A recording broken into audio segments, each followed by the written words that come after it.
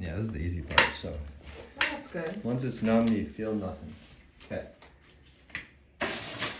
So yeah, if the pig, if you see it, this the nail that's has a brown spot or pigment or it's dark and Uh-huh. it doesn't move as the nail grows, then you worry about the.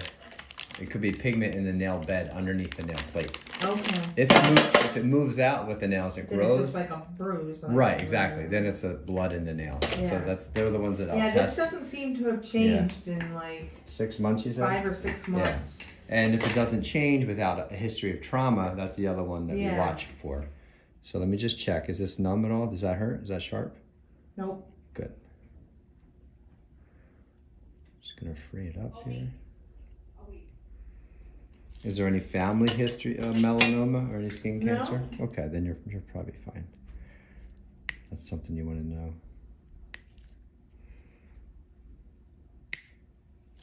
Okay, almost done already.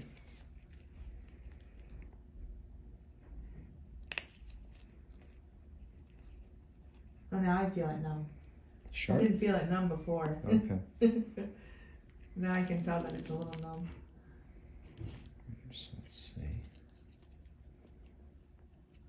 And we'll send it out to the lab to test it. Okay.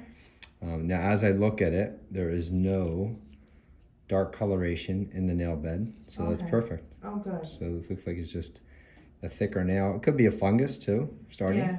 So it looks good. There's nothing in, Okay. the, in the nail bed. Yeah, because I used to get my toenails done like every couple months. Okay. I'd go and get the pedicure, and and then I noticed like I, I the last time I got it, I got a gift certificate for Christmas, and so I got it, and then like after I took the nail polish off, I noticed it, so I didn't know if maybe I got it from the from the Um, nail yeah, place, that can happen, or like I said, I I, I wasn't sure, Very common. but I haven't gotten any. I haven't. I've just been like letting them go. throw out, yeah. Yeah. All right. So that's what we'll test for too. We'll the test test for fungus. Okay. Because if you if we find that, we can treat that with a pill or laser. Okay. Um, and if you do have that, you want to catch that early, and then we can really get rid of it quickly. Okay. okay?